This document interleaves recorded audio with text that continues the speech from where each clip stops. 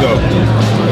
Bowman here from T-Mobile News Android Dog, and we're doing a hands-on here with the HTC One, the new flagship phone coming from HTC. One of the first things you'll notice about here is the very stunning 4.7-inch 1080p display. It's a Super LCD 3 display, and it also um, has Gorilla Glass 2 for protection, so it's going to be really, really nice, really sharp, and really hard to scratch.